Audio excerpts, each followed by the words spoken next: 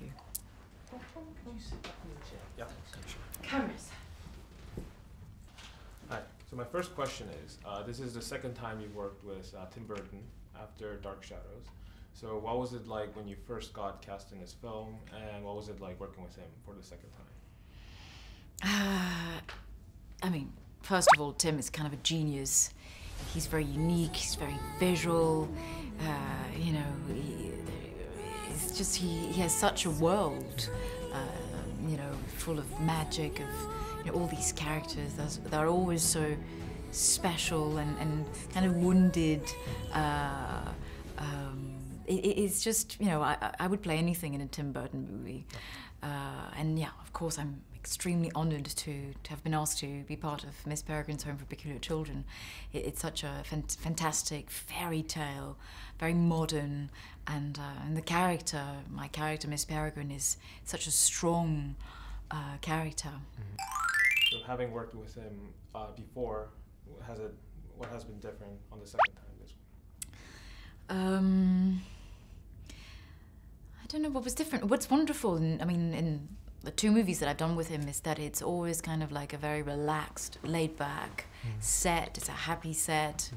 Uh, he's a, you know, th there's no pressure, which is wonderful on a, on a big movie like that. Mm. And he, he trusts his actors, so you, you feel kind of relaxed. You don't feel like, oh my God, I'm gonna get fired.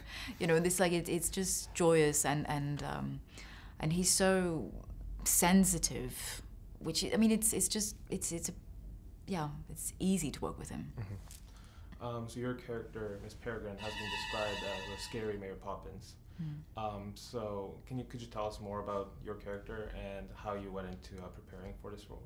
Uh, I mean, you know, this um, this movie is based on Ransom Riggs' novel, mm. uh, so the you know reading the novel was extremely helpful.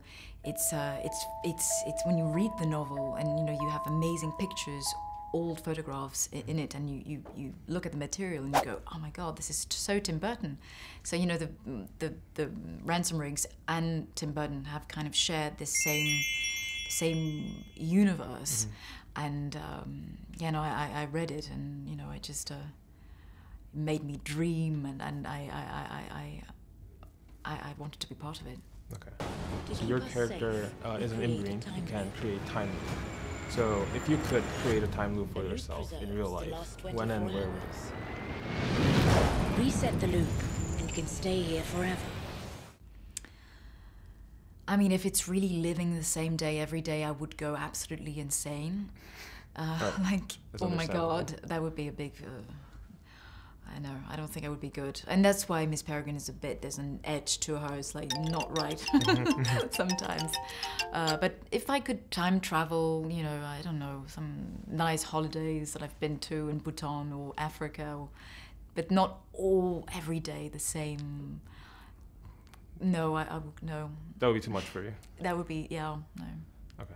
So final question. Um, You've starred in both um, big budget Hollywood films as well as uh, small independent films, and also in many TV projects.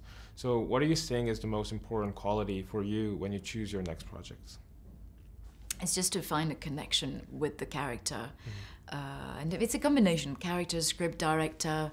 Uh, but the director, I, I, guess, is one of the main things. You know, you, you want somebody who's who has a vision mm-hmm. and you know you want to fall in love with the story you know mm-hmm. it speaks to you okay so could you say uh, hello to your fans in korea and tell them what they can expect from this film uh, hello guys in korea um, I, I, hope you'll enjoy uh, Miss Peregrine's Home for Peculiar Children. It's a very cool story, uh, full of emotions, full of magic.